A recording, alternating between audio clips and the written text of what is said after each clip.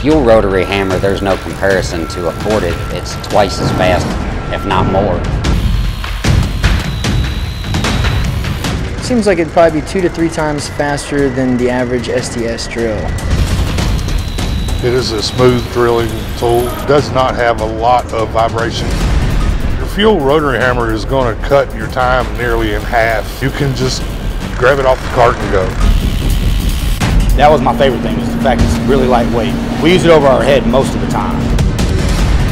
It is a huge step up.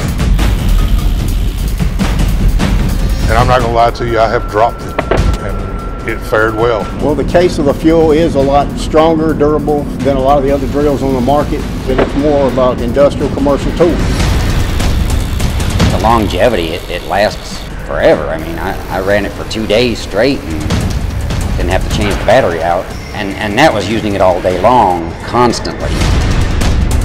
It's just very smooth and it's fast, it's lightweight, it's no hassle, and at the end of the day, that's what you want is a tool that can, you know, be efficient and work with you, not against you. I would replace any corded hammer with a fuel rotary hammer in a heartbeat.